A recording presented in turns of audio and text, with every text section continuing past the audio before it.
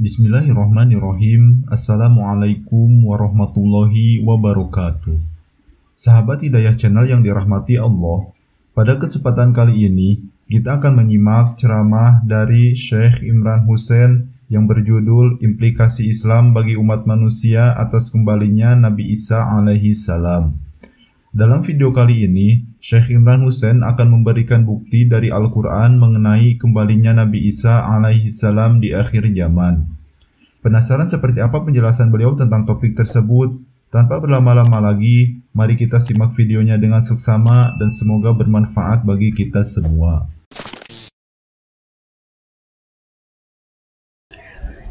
نحمده ونصلي على رسوله الكريم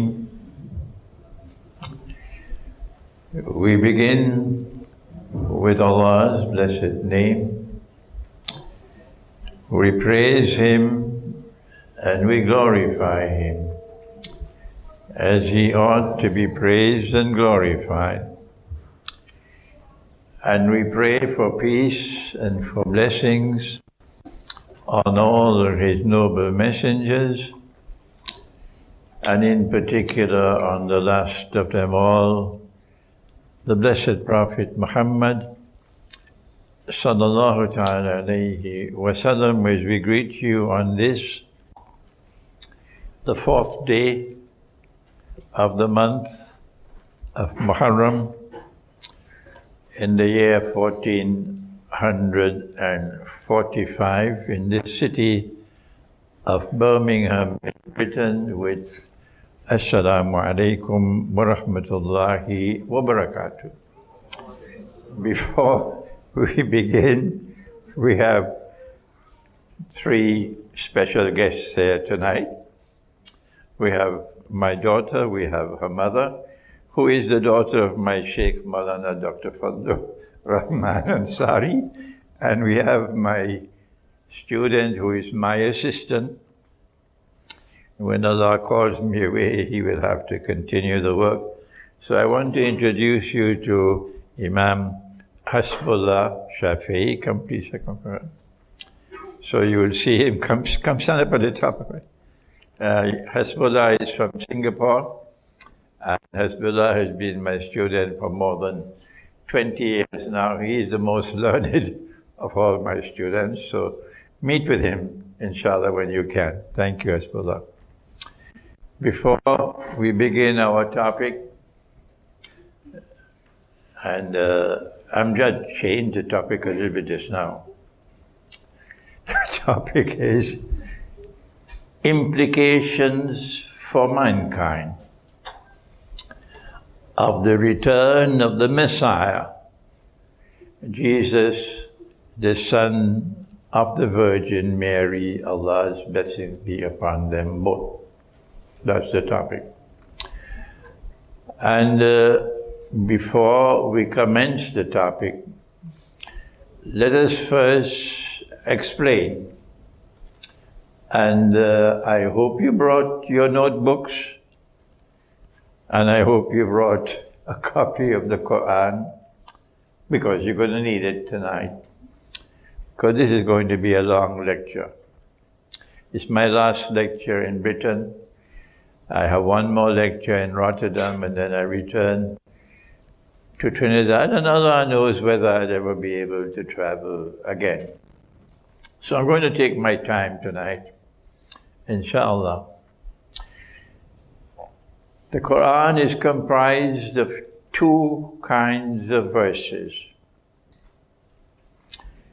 The first is ayat muhkamat, verses which are plain and clear. And the second ayat mutashabihat, or verses which have to be interpreted to be understood. This is not unique to the Quran. This appears to be common to all divine scriptures. We've given you examples about ayat mutashabihat. Nabi Yusuf alayhi salam, Joseph had a dream. And he saw the sun and the moon and 11 stars making sijda, prostrating before him. Several years later, when his father and his mother and 11 brothers bowed before him, he said, This is the meaning of the dream. He never knew it until this happened. So the son symbolized his father and son. This is the interpretation of the dream. That the sun represented the father, the moon represented the mother, and the 11 stars represented the 11 brothers. I've given you another example that you can eat and in the nights of Ramadan until the white thread of dawn is distinct from the black thread.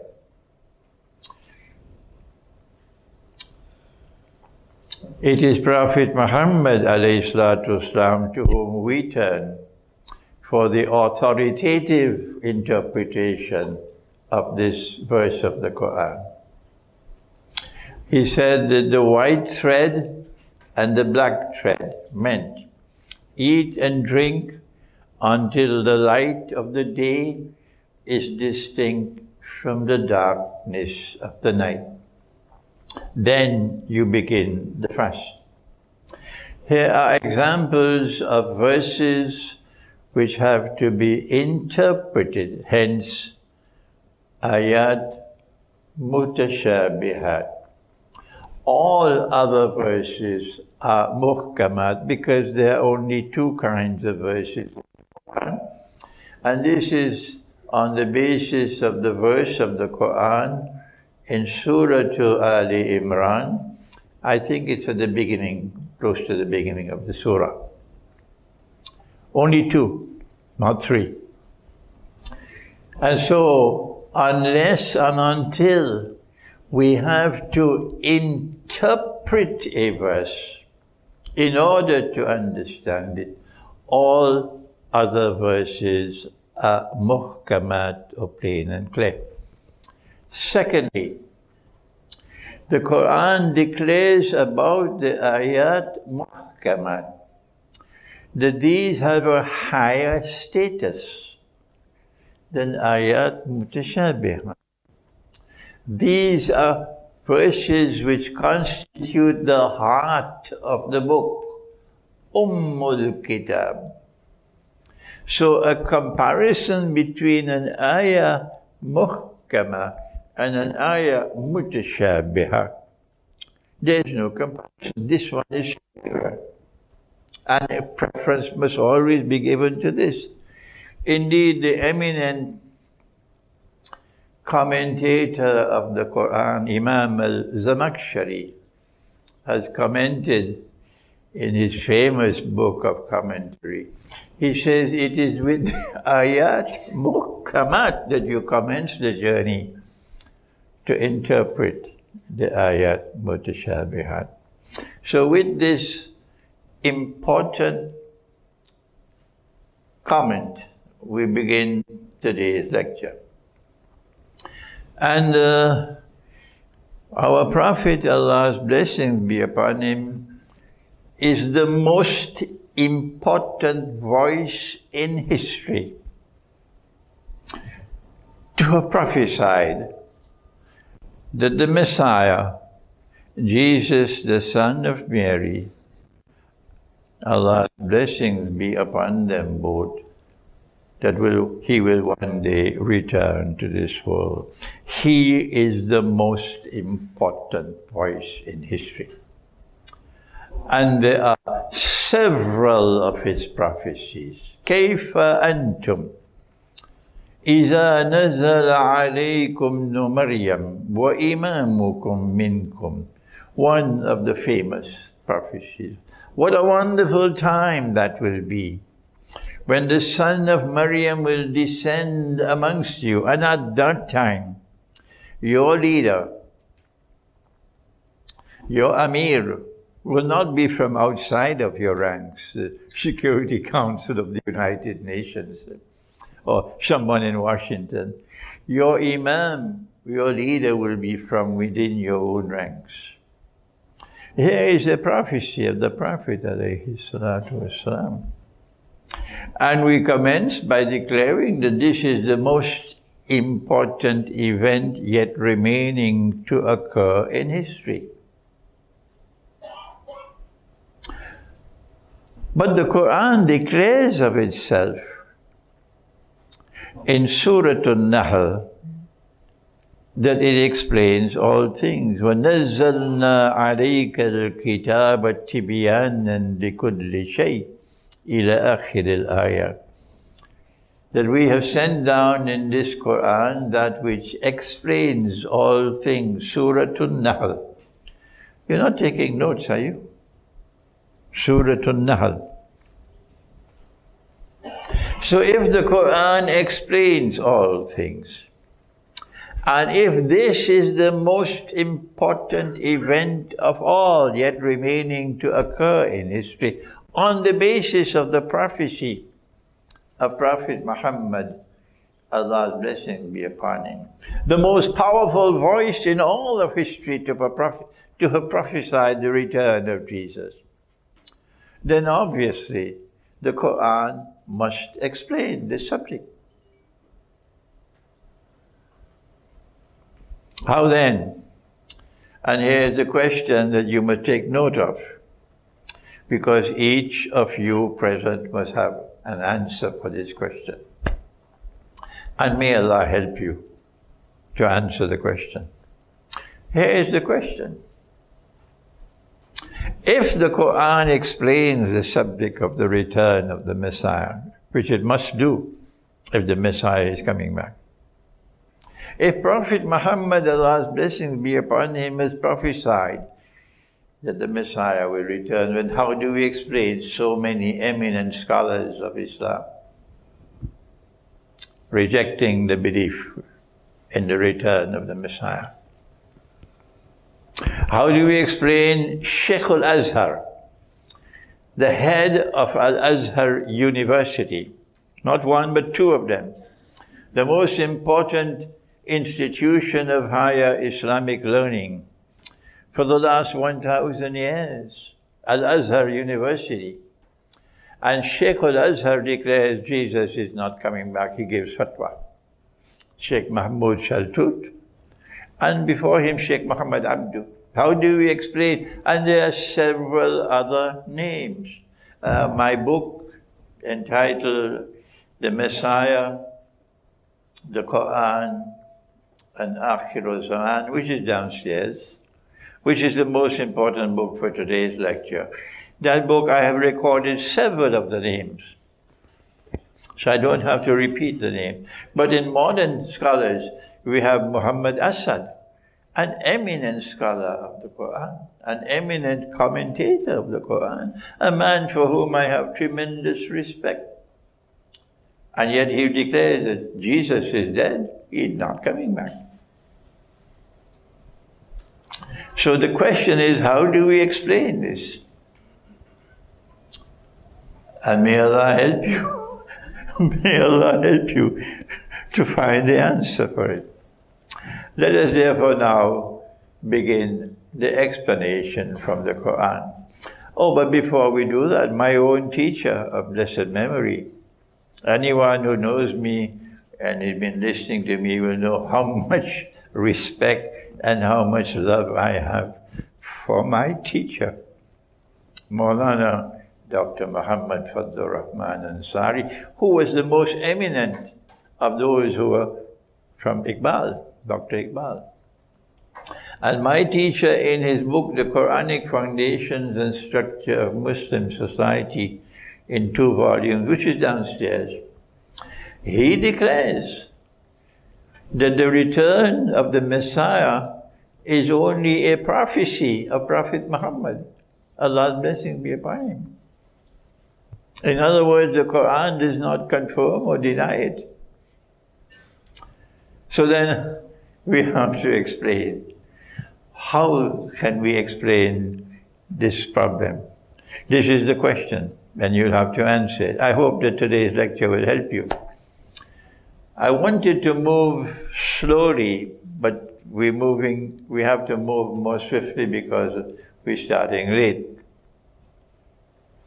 And we begin with that moment in time when the angel Gabriel alayhi salam came in the form of a human being and came to Maryam alayhi salam. She had been in the temple from the time she was two years of age until she became biologically so a woman. A girl does not become biologically so a woman at the age of six. Not possible. She becomes biologically so a woman when she reaches the age of puberty. Only then. But that does not mean she's fit for marriage as yet, because the Quran also mentions rushd, some, uh, some measure of maturity.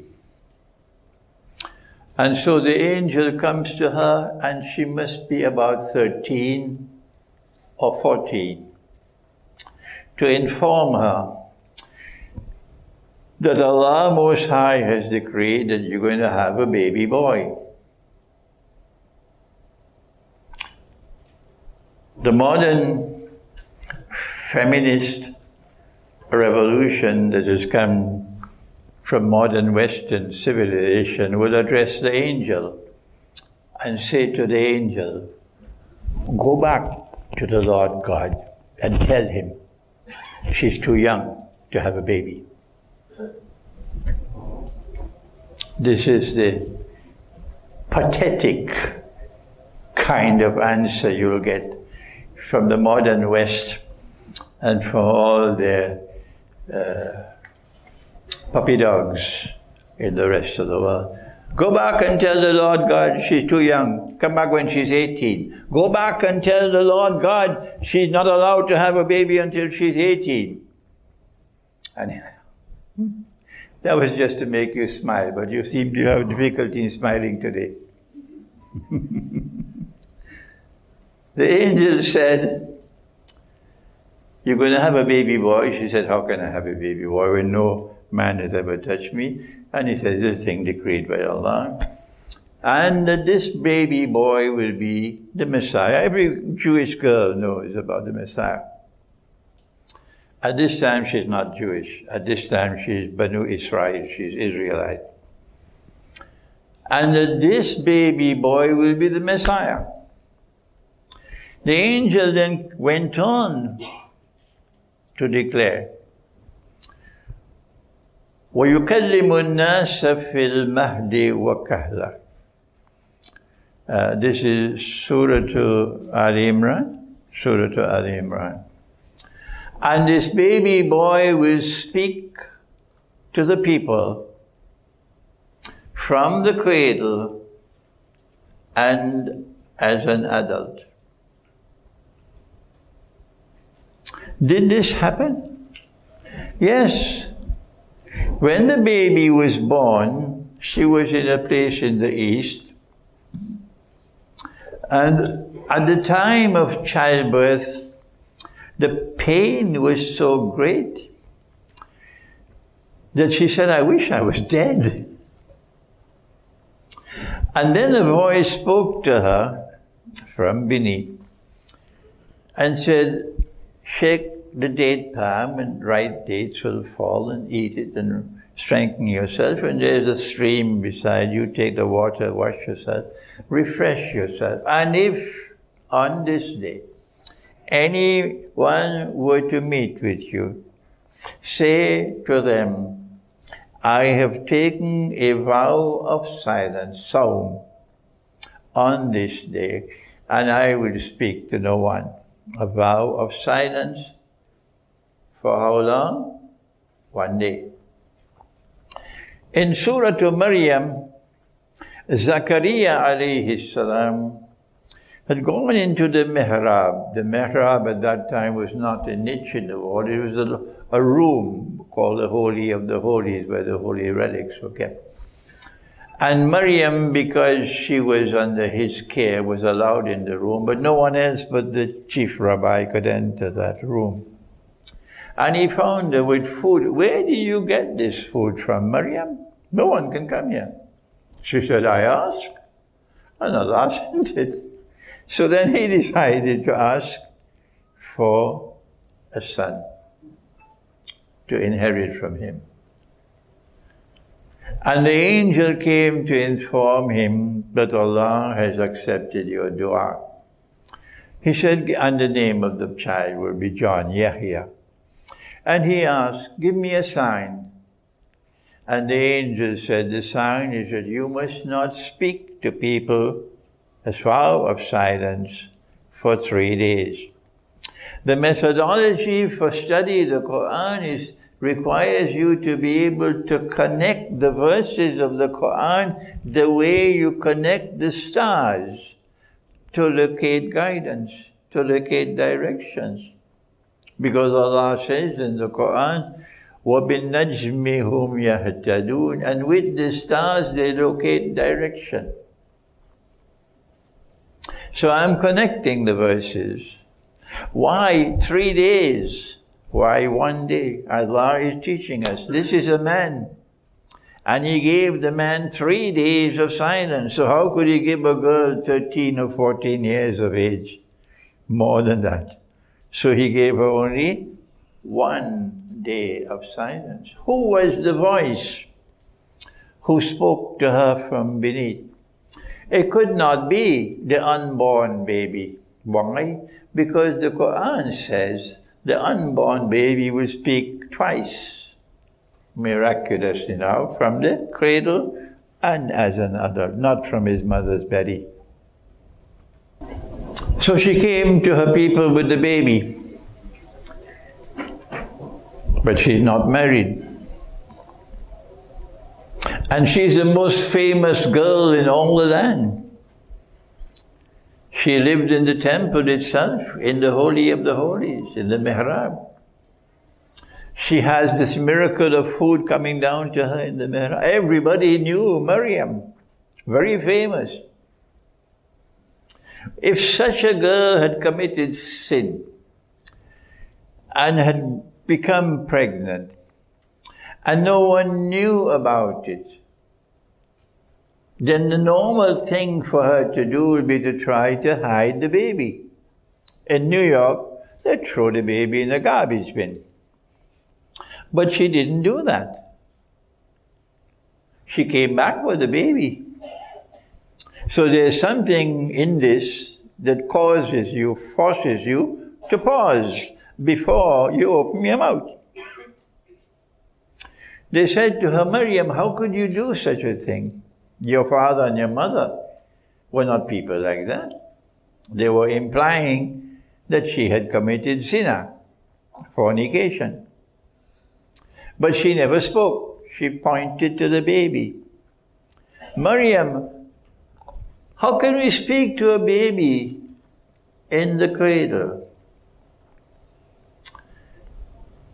The question is, why did she not speak to explain herself?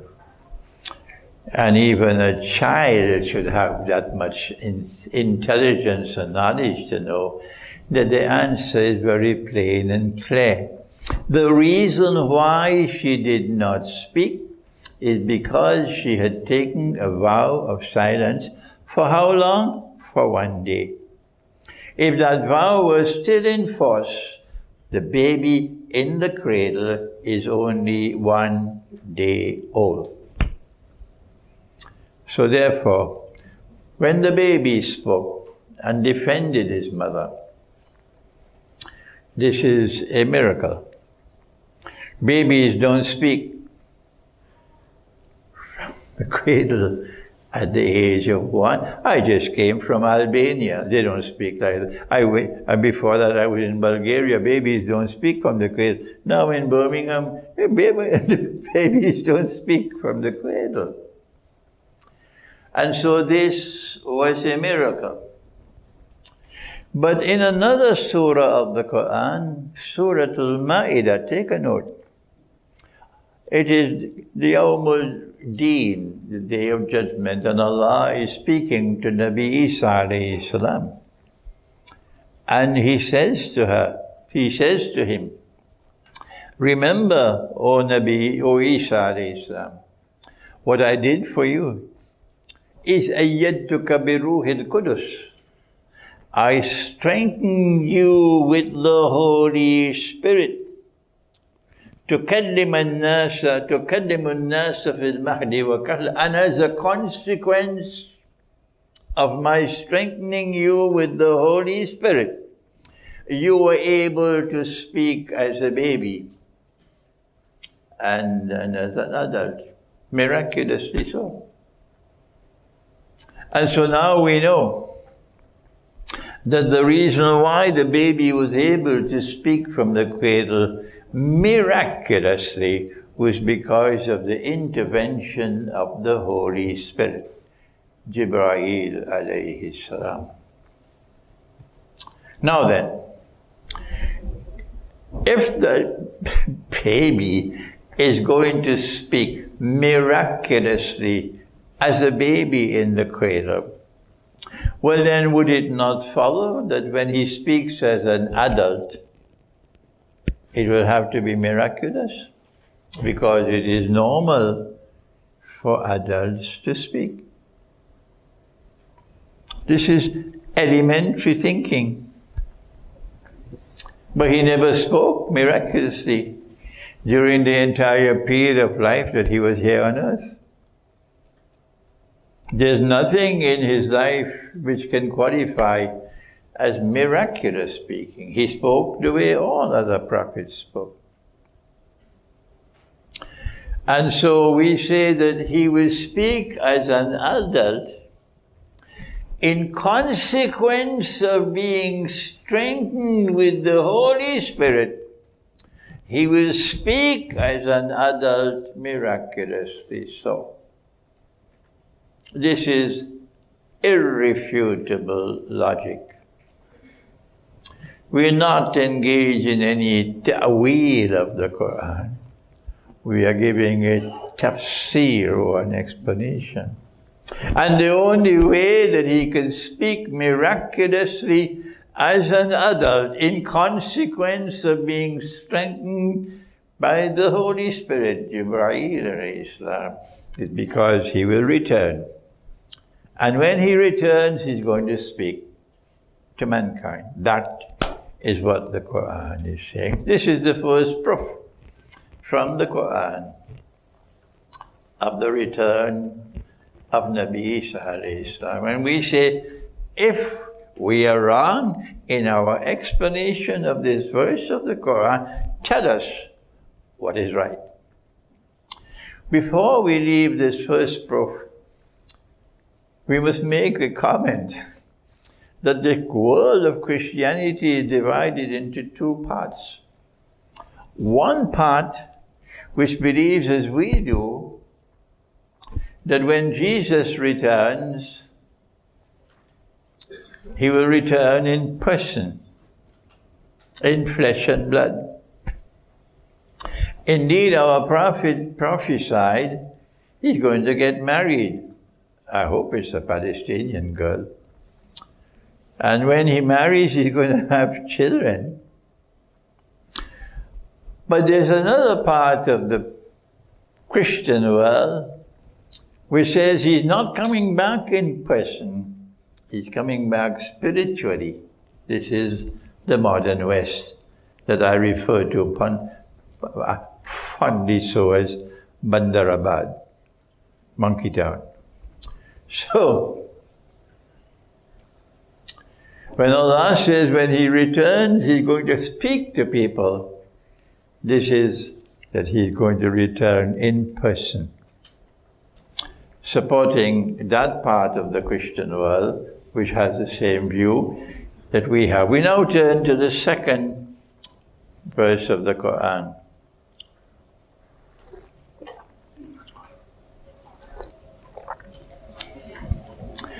The angel continues to speak to Maryam, alayhi salam. And the angel says to her about the baby that Allah will teach him the kitab and Allah will grant him wisdom and Allah will teach him the Torah and the Gospel. وَيُعَلِّمُهُ الْكِتَابِ وَالْحِكْمَةِ وَالتَّوْرَاةِ وَالْإِنْجِيلِ Surah Ali Imran. Good. Which kitab? This is the way that Allah tests us to see whether we have the capacity to think or whether we belong to the Jamaat which eats the biryani and go home and sleep. The method of identifying the kitab is to go to the rest of the Quran. And the Quran will explain the Quran. And uh, at the beginning of Surah Ali Imran, نزل alaykal kitab. Allah is sending down the kitab Alaik on you, O Muhammad. Hence, the word kitab here refers to the Quran. Musaddikan lima bayna yadayh, which confirms that which is with you. وأنزل التوراة والإنجيل من قبل and he sent down the Torah and the Gospel previously, Hudan linnas, as guidance for mankind. وأنزل الفرقان and when he sent down the Quran, he sent it down as Furqan. You use this Quran to function as a Furqan, that which distinguishes truth from falsehood. So if they made any changes in the Torah and the Gospel, for example, so this is going to be a surprise to you, that it is prohibited for an Israelite at the time when the Torah was revealed, there are no Jews, they're all Israelites. Only after the crucifixion, then this side is called Jews and that side called Christians. It is prohibited for an Israelite to lend money on interest to another Israelite. But it's okay, you can lend money on interest to those who are not Israelites. Ready? and that is in the Torah. The Quran has come to function as Al-Furqan, that which distinguishes truth and falsehood in previous scriptures. So from this verse of the Quran in which the three books are mentioned are juxtaposed, one beside the other. Kitab, Torah, and Injil. And the same way in that verse, وَيُعَلِّمُهُمُ الْكِتَابِ وَيُعَلِّمُهُ الْكِتَابِ وَالْحِكْمَةِ وَالتَّوْرَاتِ وَالْإِنجِيلِ. The three are juxtaposed. Over here, Allah identifies the Kitab as Quran. And so we say, when Allah says, نَزَّلَ عَلَيْكَ الْكِتَابِ Sorry, وَيُعَلِّمُهُ الْكِتَابِ And Allah will teach this baby the Kitab. Our answer is the Kitab is the Quran. And if we are wrong, tell us what is right. So now then the verse is saying, the angel is telling Maryam that your baby, Allah will teach your baby the Quran. And Allah will bless your baby with wisdom. And Allah will teach your baby the Torah and the Gospel. And the first question is, why would Allah teach the Quran to Nabi Isa alayhi salam, the Prophet Jesus, when the Quran is not going to be revealed for another 600 years? Why?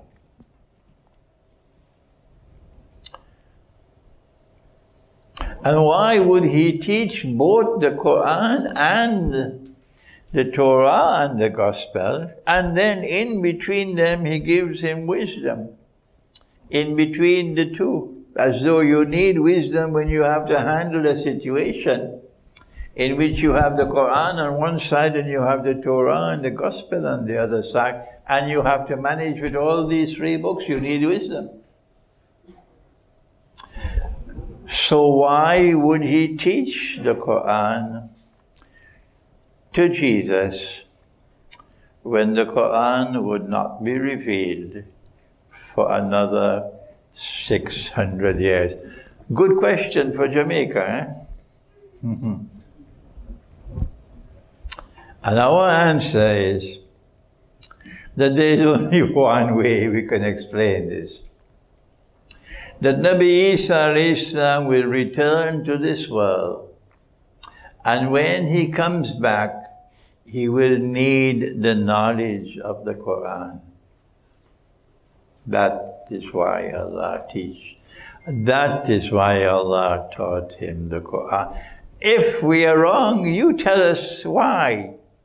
You tell us why did Allah teach him the Quran? And we are waiting for your answer. Now then, if this is the correct explanation, that Allah taught Jesus the Quran, because when he returns to this world, he will need the knowledge of the Quran, then we need to understand well, why did he teach him the Torah and the Gospel as well? And the answer is because all three books would still have application. None of these three would be cancelled or abrogated or put into cold storage.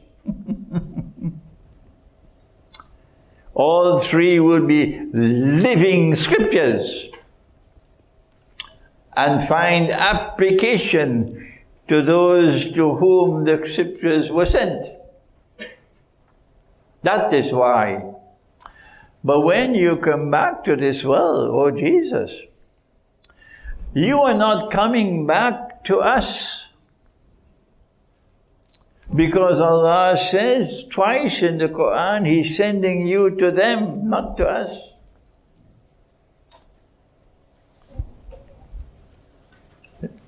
Surah As-Saf. Ya Bani Israel, Inni Rasulullahi ilaykum.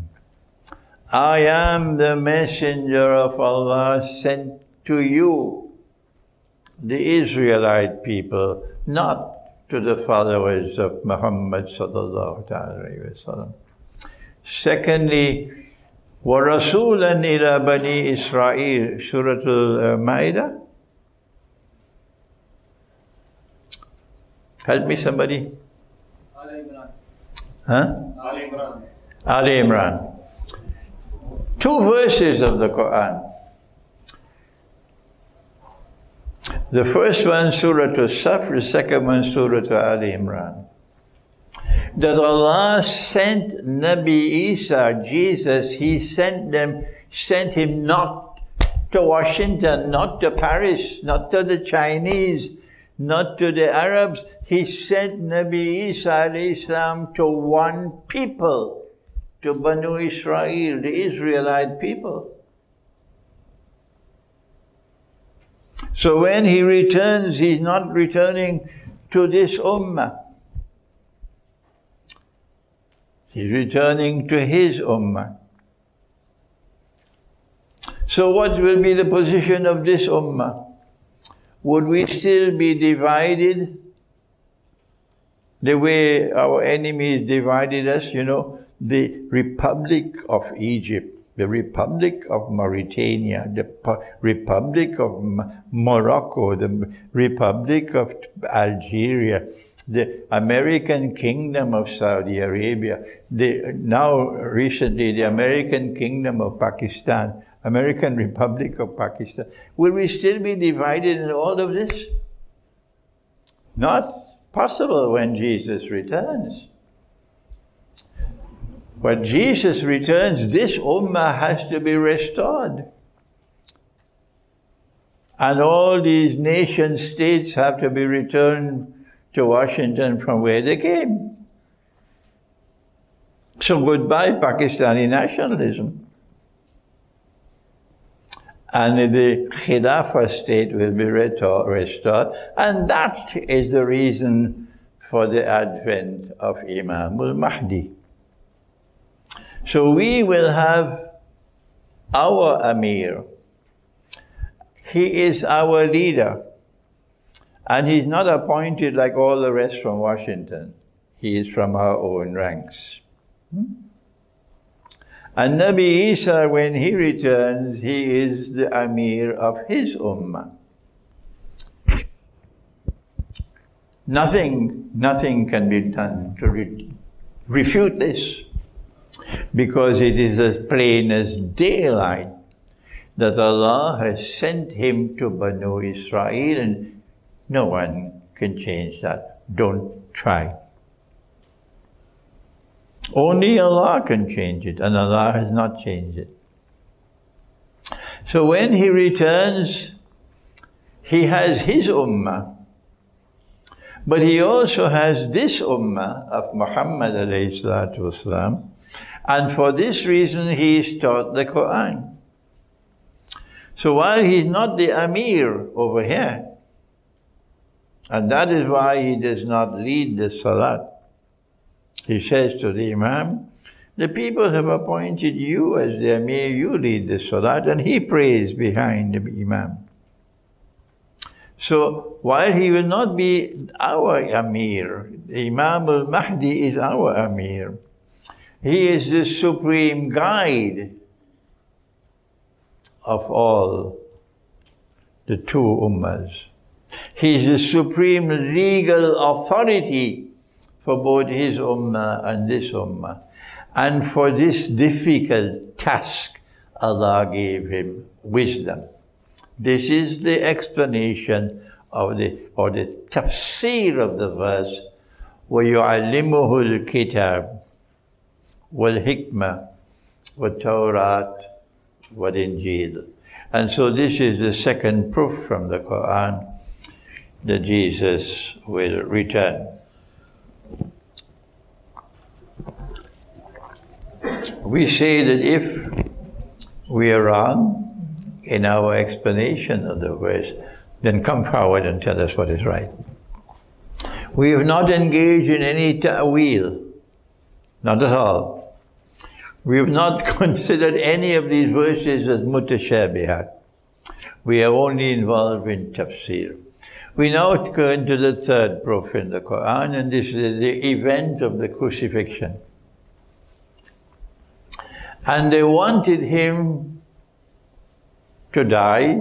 They held a court, the Israelites, and they sentenced him to death because he claimed to be the Messiah. And then they turned to the Roman government to crucify him. They wanted him crucified because the Torah said and the Torah still says so to this day, and we remind our Christian brothers that whosoever dies that way is the cursed of the Lord God. So if the Jews, sorry, if the Israelites can get him to be crucified, it would confirm from the Torah he could not have been the Messiah.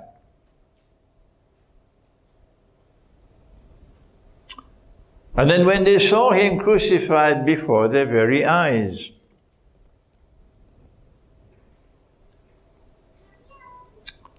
they started boasting. We've achieved our objectives. It is now confirmed beyond the shadow of a doubt based on the Torah itself, he could not have been the Messiah. And they're boasting and using sarcastic language as well. But there was one part of the Israelite people who believed in him as the Messiah, and they were weeping. They were weeping, while these were celebrating. So Allah speaks in the Quran and He says, No. They did not achieve objective number one to kill him. وَمَا صَلَبُهُ No, they did not achieve objective number two, that he should be, he should be executed in this way, to confirm beyond a shadow of a doubt he could not have been the Messiah. No, they did not crucify him. ولكن شبه لهم And here is where we find that so many have been taken for a ride. Shubbiha lahum means here that Allah made it appear unto them that he was crucified when he was not. But instead of that, we have the theory of substitution. And our enemies are constantly pushing it forward, pushing it forward. Yes that Allah, when billah min hadha, because this is sinful, this is attributing an act of injustice to Allah, I don't want that on my table at all. That Allah caused someone to assume the appearance of Jesus, and that man was crucified. Did he claim to be the Messiah? No. But he was executed for claiming to be the Messiah. So whoever caused this has committed an act of injustice. That's elementary thinking. But some people have lost the capacity even for elementary thought. On Judgment Day, they will have to stand before Allah to answer for attributing to Allah an act of injustice. Don't come with this nonsense. Oh, no, no, he must have done something else which deserved execution. This is a fishing expedition. this is intellectual acrobatics. Well then, what happened? Number one, they did not kill him. Number two, they did not crucify him. Number three, Allah made it appear unto them that he was crucified. If I were present, I would say he was crucified. If you were there, you would say he was crucified. All those present were convinced he was crucified. Well, then how did Allah make it appear unto them? that he was crucified when he was not? That is the question. And for this we turn from Surah An-Nisa. This passage is Surah An-Nisa. وقولهم إنا قتلنا المسيح عيسى بن مريم رسول الله وما قتلوه وما صلبوه ولكن شبه لهم This is Surah An-Nisa we turn from Surah Nisa and we go now to Surah to Ali Imran to continue. And this is the moment of the crucifixion and Allah is speaking to Nabi Isa salam and the conversation is in the Quran. Ya Isa, oh Jesus, inni mutawaffika. I'm going to cause you to experience something called wafat. وَرَافِيُكَ إِلَيَّ And then I'm going to raise you on to myself. وَمُتَخِّرُكَ مِنَ الَّذِينَ كَفَرُوا And I'm going to cleanse you of what they have hurled against you with this kufr and against your mother. وَجَعِلُ الَّذِينَ اتَّبَعُوكَ فَوْقَ الَّذِينَ كَفَرُوا إِلَى يَوْمِ الْقِيَامَةِ And I'm going to cause those who follow you. I don't follow him, I follow this Prophet.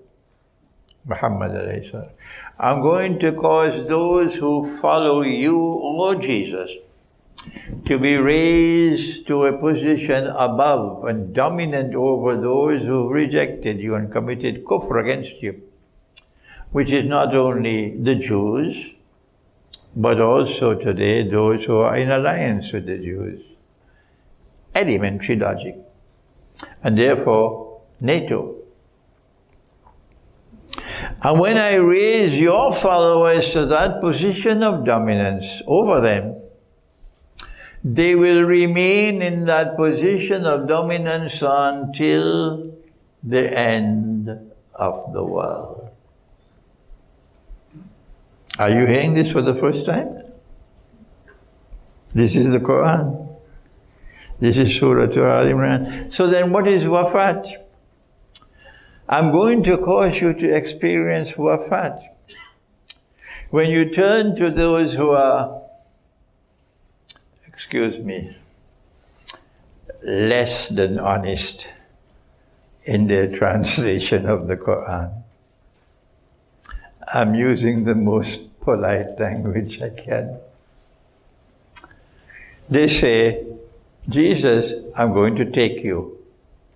Really? I'm going to take you? Is that correct? Let us go to the Quran rather than to them. What does the Quran say?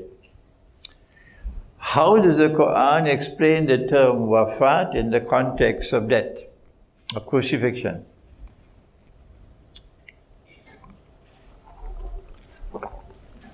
We turn to Surah Al-Zumar. I am connecting the dots for you. I'm showing the connection between verses of the Quran, the way the stars are connected. And in Surah Al-Zumar, Allah speaks about wafat at the time of death. And this is what He says. Allah yatawaffa al-anfusa hina mawtiha. Allah takes the soul at the time of death. والتي lam tamut. And those are most certainly not dead. They are those who most certainly do not die. Fimanamiha, when Allah takes their souls at the time when they sleep. Why? فَيُمْسِكُ الَّتِي قَضَى عَلَيْهَا الْمَوْتِ Because when he takes the soul at the time when you are asleep, he has the option of doing one of two things, not three. Kashmir is not involved in this at all. he can either yumsikul lati qada alayha al he can keep the soul for whom maut is written, or death, maut is death. وَيُرْسِلُ الْأُخْرَى إِلَى أَجَلٍ مُسَمَّى And for those for whom maut or death is not written, he returns the soul. So if Allah says, Inni mutawaffik, O Jesus, it means if you have honesty and integrity in language, in explanation, O Jesus, I am going to take your soul. But they lack the honesty to say that. All these translations of the Quran, all of them. Oh Jesus, I am going to take your soul. This explanation comes from Surah Al-Zumar.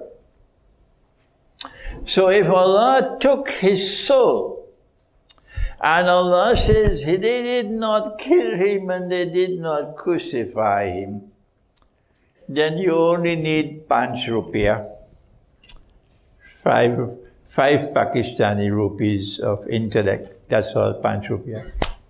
To understand. So wait a minute, eh? When I was a student in 1964, if you had five rupees in your pocket, you're walking, you're walking very well, eh? With five rupees in your pocket. when Allah said, I am going to take your soul, but Allah says, I'm going to make it appear to them that you were crucified when you were not. Then all you need is panch rupiah. Panch means five panch rupiah of intellect to understand, common sense. That the only way that Allah could do it, that they did not kill him, they did not crucify him, but he took the soul, He said he took the soul and then he returned the soul when they could not see. That's all. That is all. And on Judgment Day, on Judgment Day, they will see it plainly in their faces that this is the correct explanation. I don't care. Two peanuts. If they dispute with me, I'm angry. I've been teaching this subject for so long and they lack the elementary common sense to understand the Quran. And they keep on holding on to that bogus theory of substitution. So if Allah says in the Quran, I'm going to take your soul, and then He returns the soul, it means He did not experience maut. He did not die.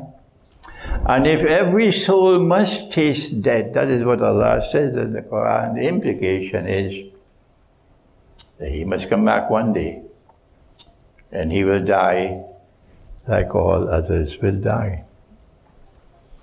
This is the third proof from the Quran of the return of the Messiah. And my time is now up for the first session. When we return, we'll have two more proofs from the Quran. The, the last one, number five, will take some time. And only then I'll be able to turn to the interesting, fascinating part of the subject. What are the implications for world politics of the return of the Messiah? Is there any scholar any Islamic scholar in the world today who is explaining that subject? Anyone in Pakistan? Anyone in Egypt? what are the implications for the world economy? What are the implications for the monetary system in the world? What are the implications for the Jews and for the state of Israel? What are the implications for Christians? What are the implications for this ummah?